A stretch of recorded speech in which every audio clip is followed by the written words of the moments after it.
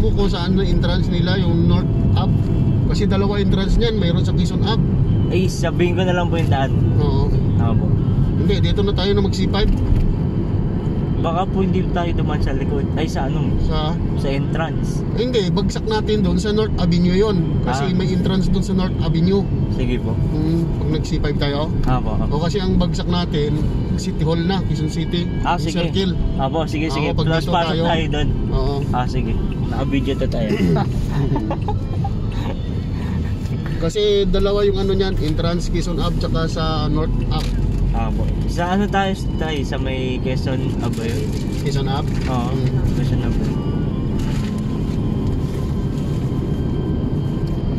Buti walang ano ngayon. Walang Wala. traffic. Oo. Nakaraan traffic. Pag linggo kasi wala nang ngayon linggo wala nang ano ah kampanya. Apo. Tapos na. Dapat ganito po palagi, no? Mm. Pagkatapos ng eleksyon mababawasan talaga 'yun. Kasi magkahigpitan eh. Kaya po eh. Tapos pinapatupad pa yung lockdown. Oo. Hindi, sabi naman, wala nang lockdown. Ah, wala na. Oo, ila-lockdown lang kung saan maraming cases. Eh, Quezon City nga po daw. Marami. Oo. Bali-balita lang po yun ah. Yung Quezon province, naka-level 2 sila eh. Ah, naka-alert level Oo, na. naka-ano na sila ron. Pero wag mo sana dito sa Manila. Oo. Ang mahirap kasi pag binalik dito sa level 2, Opo. ah, 50% na naman yung tao. Yun nga po eh. Ibig sabihin, 50% na naman ang papasok nun. Hmm. Kawawa na naman yung mga nagtitinda. Oo. Mga negosyante.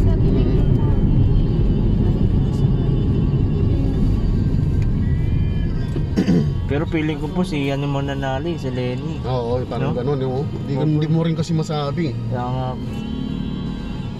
Sa Kasi dami- pag si Marcos daw manalo, may plan A daw gagawin. I, ipapa-impeach daw ni Duterte si Marcos. Opo. One year lang daw po uupuin yan. Si Bongbong? Oo. Papa-impeach yan tapos kakasuhan daw nila ng tax evasion kasi ang dami daw ng hindi binayaran. Ah. Eh, yung kinurakop nila dati. Ayun ba yun? Mm. Hindi, nung senador siya, saka congressman, Oh. saka gobernador, Oh. hindi daw nagbayad ng tax yan. Ayun lang. Oo, kaya bakit, Bakit ang lakas ba? daw ng, ang lakas daw talaga Ano nila sa ano, Mm. BIR. Siyempre, Ba- ba- halukayin yan. Opo. Pag ano mangyayari kung may utang tayo sa gobyerno? Patay. Eh si Lenny, puro resibo pinapakita eh. Magandang klase po yun eh. Parang lahat po ng ano, lahat ng binabayaran nakikita. Oo. Pagka hindi siya kurakot, Wala naman talaga siya bahid na ano, kurakot. si Lenny. Si Lene, oo. Ah, Saka isa pa, attorney siya. opo, abogado pa din. Abogado siya, oo. Mm, Si Bongbong, wala. wala. Parang hindi nga daw nakagraduate yan eh. Kaya nga pa eh. Pero kung titingnan po yung credential ni Lenny, abogado, Oo, abogada. Oo. ekonomista, Oo. may pinag-aralan. Eh di doon na tayo. Oo, si Bongbong wala eh. Kahit na sabihin natin po na ano, na nag-ano si Bongbong Marcos sa ibang bansa na pag-aral daw. Mm. Eh paano tayo paglalaban kung hindi siya ano, marunong wala siyang alam sa ano, siya Ekonomiya. mga oh, ekonomiya. May mga plano nga po siya, mga ganyang kalalaki. Paano kung ano, wala na. Kung di rin naman marunong magbayad ng buwis. Sila lang yung yaman ulit. Oo, sila lang yung iipit nila yung pera. Parang gano'n.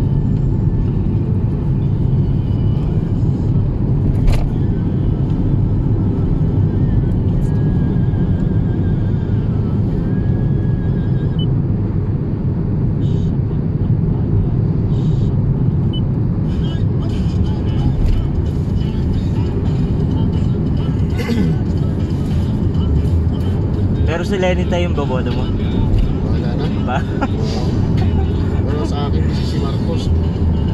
Kaya ang hirap mag-decide po eh, no? Tapos kalaban pa nila si ano, si sino nga yun? Si Manila. Isko. Isko. Wala yan, di mananalo yan si Isko. Mm, kasi Manny Pacquiao. Oo. pera lang yun. Ang si Pacquiao, si ano, si Isko, pera lang hinabol niya dyan eh. Oo po eh. Oo, bilyon yung binayad sa kanya eh. Mm. Parang si Lacson, 500 million binigay. Kaya po, binabayaran lang din po sila para tumakbo Oo. eh. Si Pacquiao naman, ang nag-donate ng pera sa kanya, 3,000 na negosyante na galing sa ibang bansa. Oh, Oo. kaya pala malakas loob lumaban. Oo. Pero mahina sa tao. Dapat nga, tumakbo lang si Pacquiao muna ng ano, Vice President. Mm. Baka lumusot pa siya. Mm. Ikalaban niya yata si ano eh. Sino bang vice president kayo? Yung Hindi, doktor. Ah, yun, yun ang ano niya. Tsaka si Kiko. Kalaban niya si Kiko eh. Kung tatakbo siya ng ano.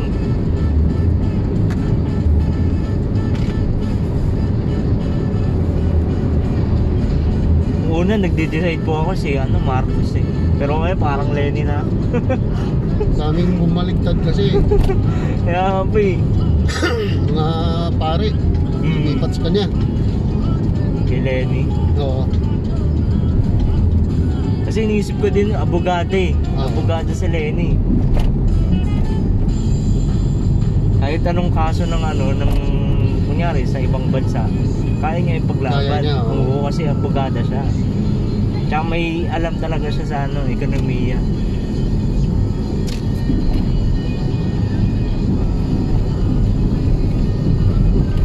Kasi kung hindi marunong mag ano si ano, magtanggol, awa-awa.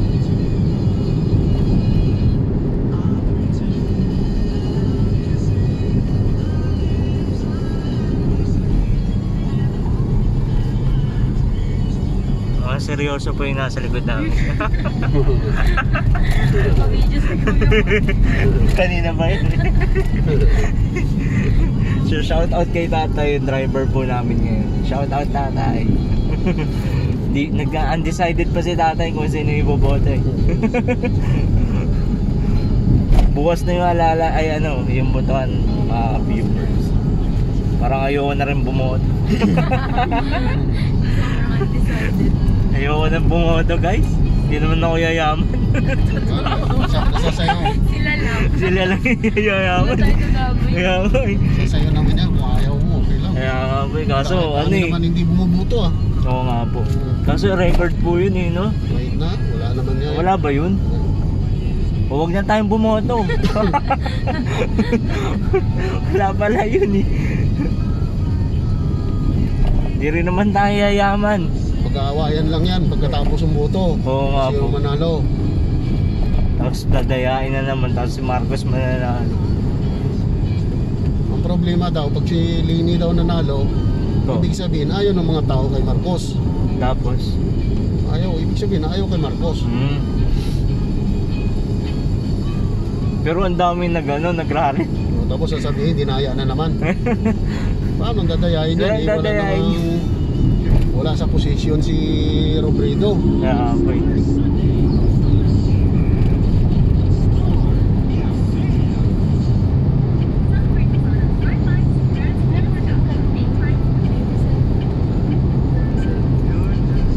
So bukas guys mga viewers natin dyan Botohan na po bukas So alamin nyo na po kung sino yung karapat dapat na iboto natin bilang Pangulong Pilipino Yayaman ba tayo?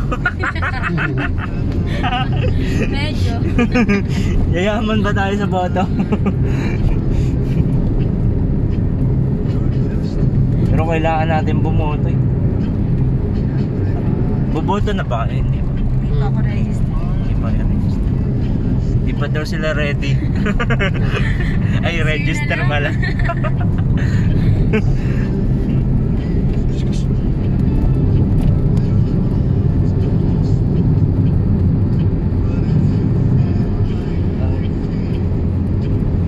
papunta kami ng Quezon City.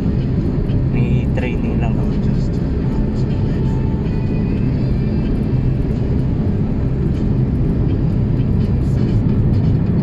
Medyo maluwag yung daanan namin ngayon. Wala nag-aaway. Wala nang rally. Wala, Wala na nagra-rally wala guys. nang nagrarally. Alam na daw kung sino mananalo. Si Manny Pacquiao daw. Yung pang-ending si Manny Pacquiao pa. Nag-away. Nag-away-away, buboxing lang ni Manny Pacquiao. Lahat daw po ng tao mag-boxing na eh. Kaya magkakaroon ng curriculum. Education ng boxing.